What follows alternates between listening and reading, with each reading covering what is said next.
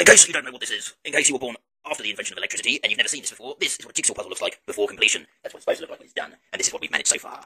The electricity's been off for about 28 minutes now, and we've resorted to a jigsaw puzzle. And beer. I found a corner. As you can see, we've not got much further with the puzzle. I phoned the police and asked them to come and help, but they weren't too happy. But we did manage second best. The fire engine.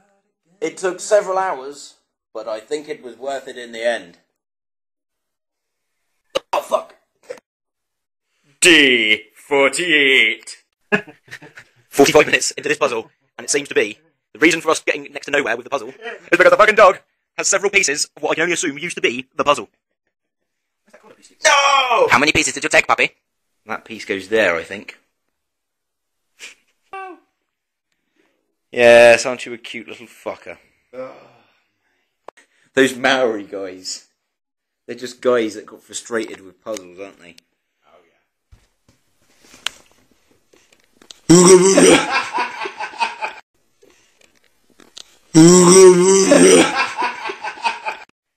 As you may be able to see, all the standby buttons have just lit up on our appliances. As you also may be able to see, 2009 begins again. Damn you. I blame the dog.